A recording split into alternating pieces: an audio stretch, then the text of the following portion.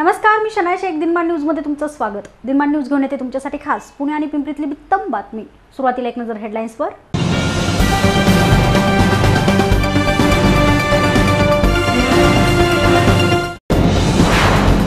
मतमोजणीसाठी police प्रशासन झाले सज्ज. वसंत व्याख्यानमालेत गांधीवरून गोंधळ. अकरा वर्षीय नातवामुळे वाचले सहा जणांचे प्राण. कूलर चोरी करणाऱ्या टोळीला वाकळ पोलिसांनी घेतले ताब्यात. आता बातम्या सविस्तराने. तेवीस मेला लोकसभा निवडणुकीचा निकाल जाहीर होणार आहे. मतमोजणीसाठी प्रशासन सज्ज झाले आहे पुणे बारामती शिरूर आणि मावळ मतदारसंघाची मतमोजणी पुण्यात होणार आहे. शिव छत्रपती क्रीडा संकुल बालेवाडी आणि कोरेगाव पार्क येथून धान्य गोदाम येथे मतमोजणी होणार आहे. पुण्यात दोन ठिकाणी मतमोजणी होणार आहे. दोन्ही ठिकाणी पोलिसांचा तगडा बंदोबस्त असणार आहे. प्रत्यक्ष मतमोजणीच्या ठिकाणी सीआरपीएफचे जवान तैनात असणार आहेत. त्या बाहेर बाजूला एस आर पीचे जवान तर मतमोजणीच्या ठिकाणी परिसरात स्थानिक पोलीस तैनात करण्यात येणार आहेत. पुणे आणि बारामती मतमोजणी केंद्रावर दोन पोलीस उपायुक्त तीन सहाय्यक पोलीस आयुक्त पंधरा पोलीस निरीक्षक सात पोलीस उपनिरीक्षक तर अडीचशे पोलीस कर्मचारी असणार आहेत. तसेच मावळ आणि शिरूर या मतदारसंघाची मतमोजणी जेथे होणार आहे तेथे एक सहाय्यक पोलीस आयुक्त आणि इतर सारखाच बंदोबस्त असणार आहे. एस आर पीच्या अतिरिक्त तुकड्या देखील या दोन्ही ठिकाणी हजर असणार आहेत. पुणे जिल्ह्यात चार लोकसभा मतदारसंघ आहेत. तिथे F C I godown Koregaon park येथे बारामती आणि पुणे मतदारसंघाच्या इथं मतमोजणी केल्या जाणार आहे तसेच आपल्याकडे इथे छत्रपती इथे इथे जो बालेवाडीचा एक क्रीडा संकुल आहे या ठिकाणी मावळ आणि सिरूर असे चार मतदारसंघासाठी दोन आपण मतमोजणीचं केंद्र इथे आपण केलेलं आहे निश्चित. सकाळी बरोबर आठ वाजता तेवीस तारीख रोजी आमचं मतमोजणीची प्रक्रिया सुरू होईल. सुरुवातीला याच्यामध्ये पोस्टल बॅलेट्सचा होणार आहे आणि सोबतच ई व्ही एमचं पण काउंटिंग केलं जाणार आहे.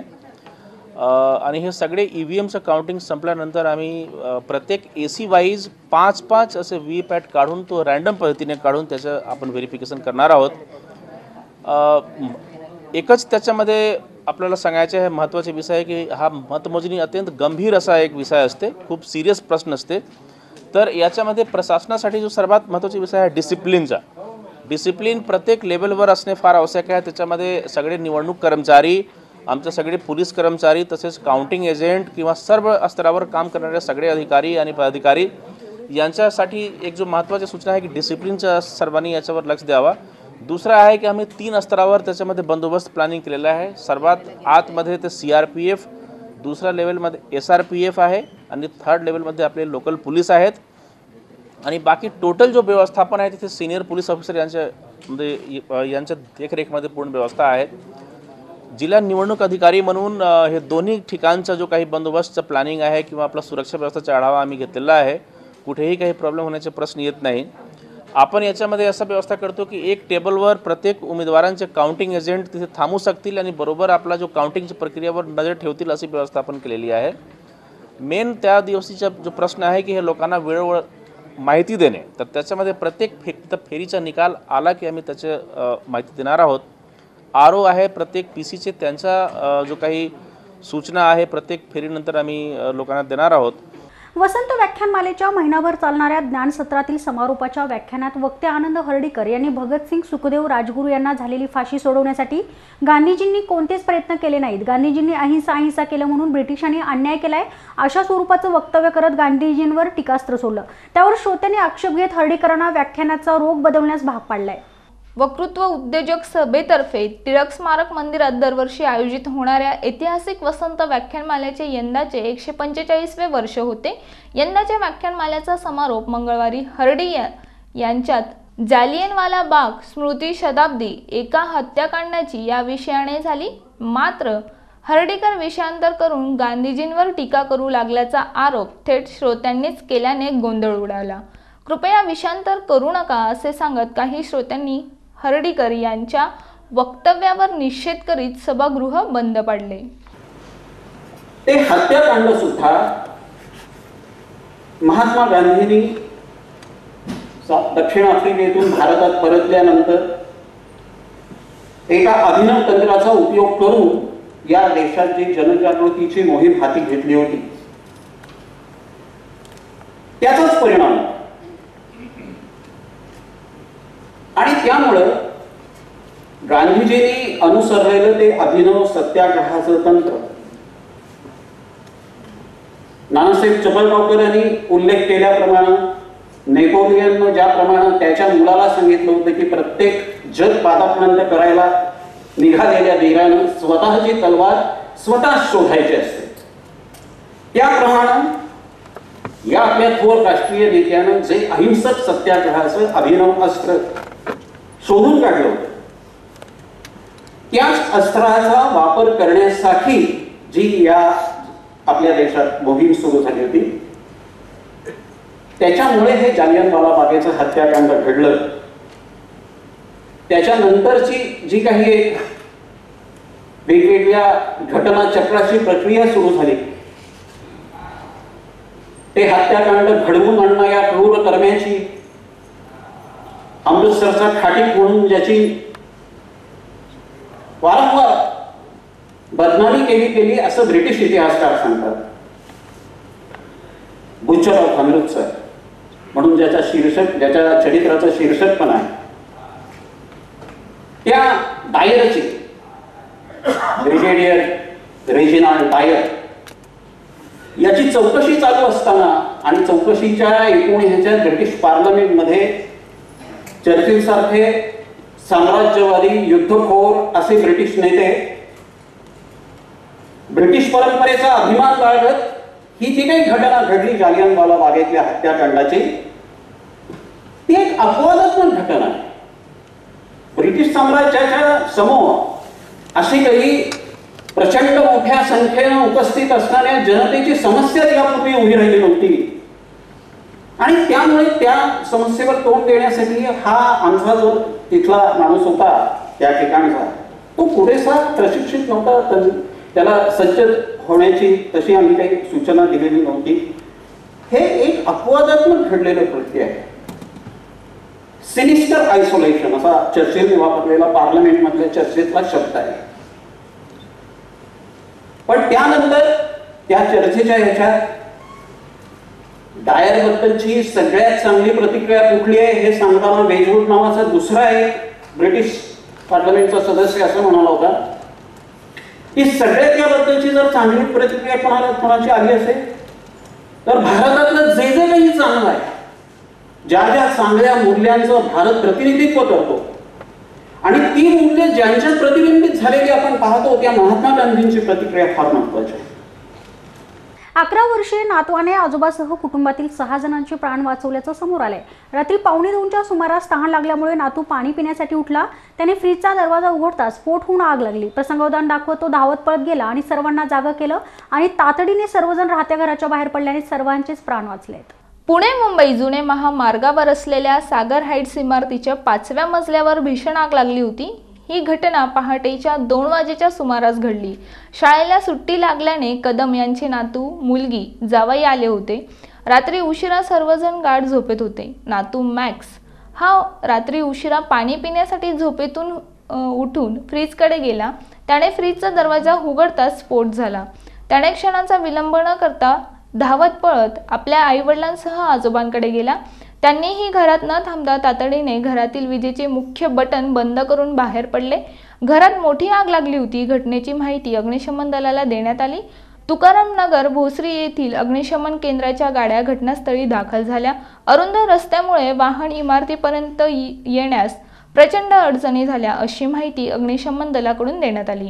गंभीर बाब म्हणजे इमारतीच्या पाचव्या मजल्यावर अग्निशमन यंत्रणा बसविण्यात आलेली नव्हती. औरंगाबाद आणि पुणे येथून वेगवेगळ्या कंपन्यांचे गोडाऊन फोडून चोरी करणाऱ्या राज्यातील टोळीला वाकड पोलिसांनी अटक केली आहे. अजीज बादशाह सय्यद ज्ञानेश्वर रामराव पल्हाड अशी अटक केलेल्या आरोपींची नावे आहेत. सात मे दोन हजार एकोणीस रोजी D Jeevan Snehanjali retail private limited या कंपनीचे रघुनंदन मंगल कार्यालयाच्या मागे ताडवडे येथे असलेले गोडाऊन अज्ञात चोरट्यांनी फोडले. गोडाऊनमधून नव्वद कूलर आणि एक किचन स्वयंपाक.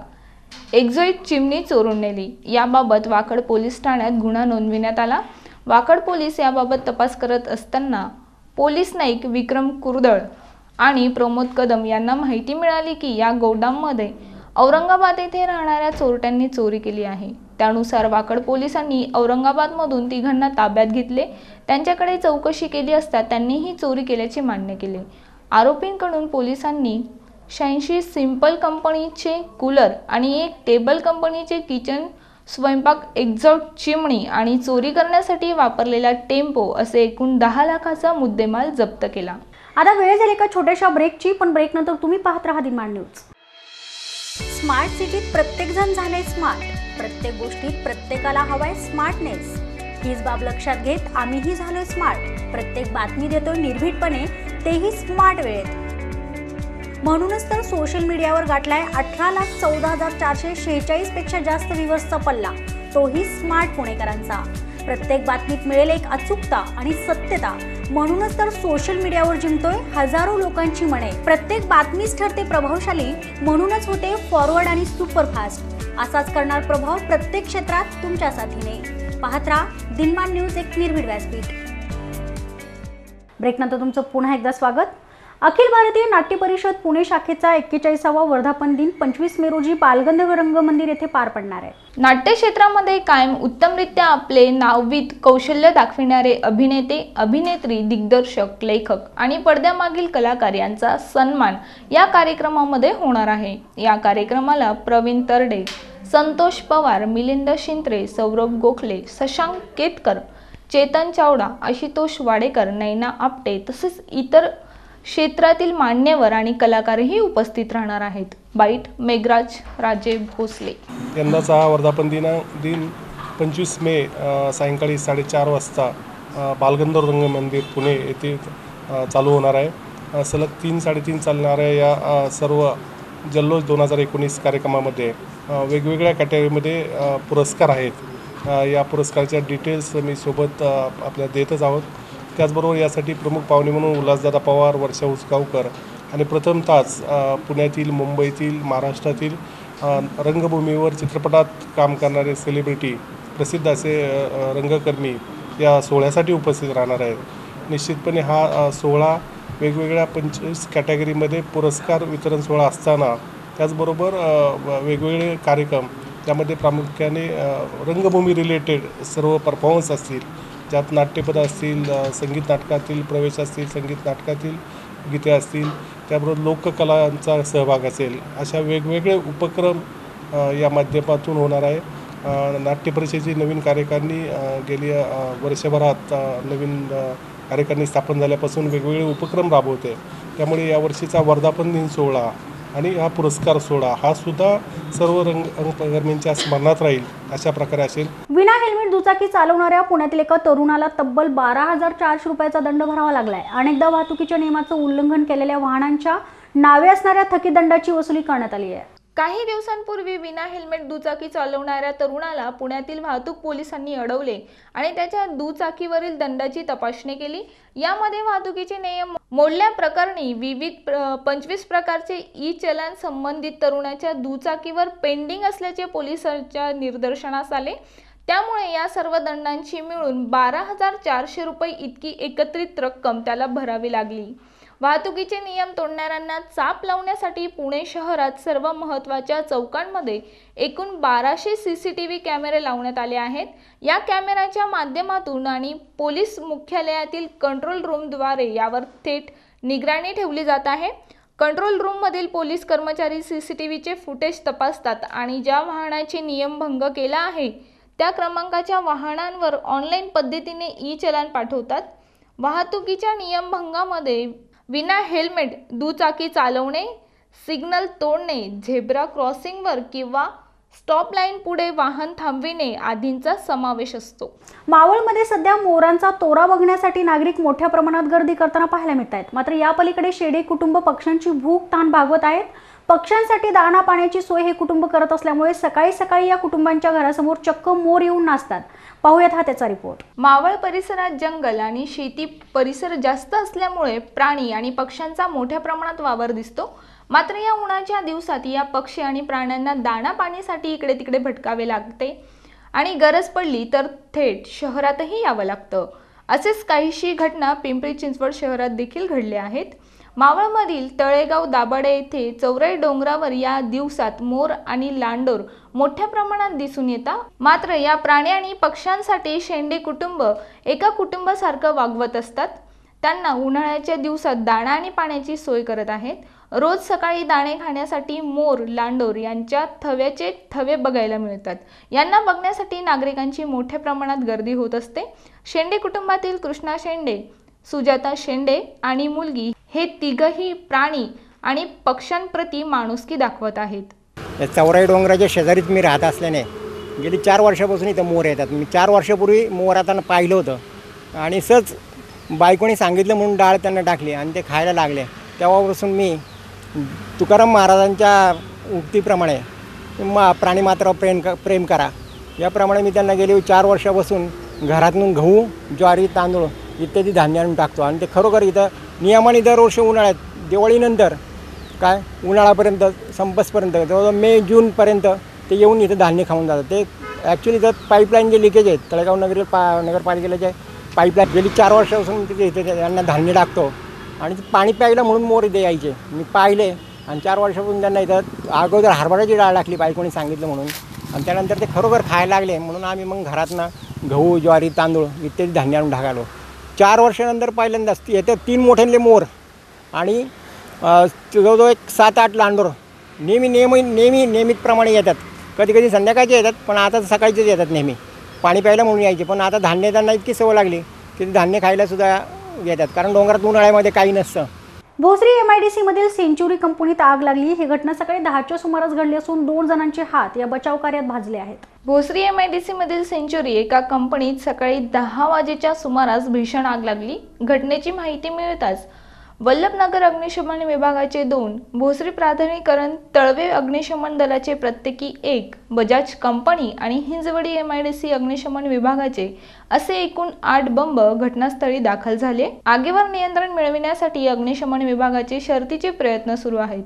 काही प्रमाणात आगीवर नियंत्रण मिळविण्यात यश आले.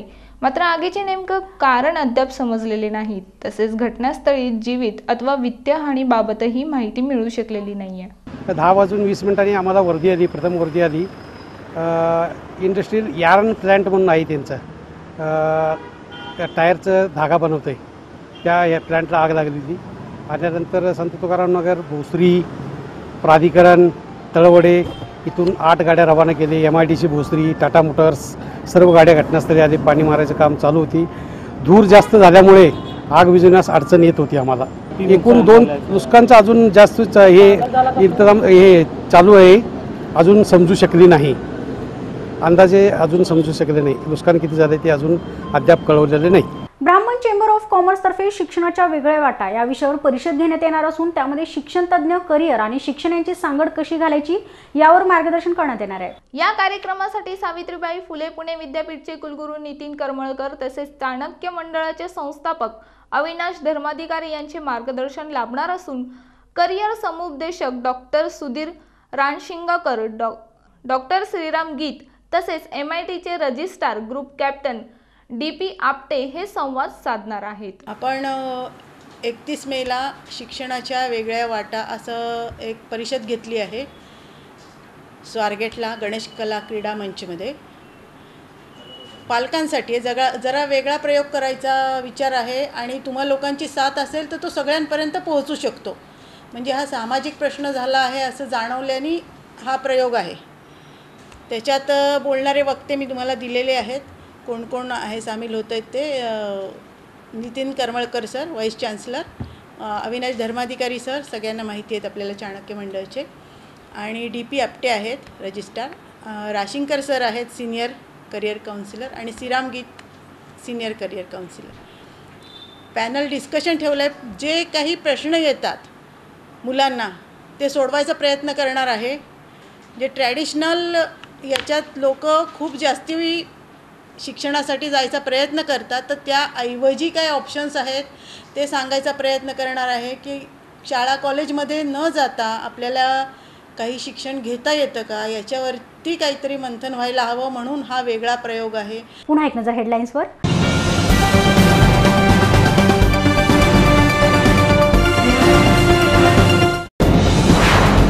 मतमोजणीसाठी पोलीस प्रशासन झाले सज्ज. वसंत व्याख्यानमालेत गांधीवरून गोंधळ. अकरा वर्षीय नातवामुळे वाचले सहा जणांचे प्राण. कूलर चोरी करणाऱ्या टोळीला वाकळ पोलिसांनी घेतले ताब्यात.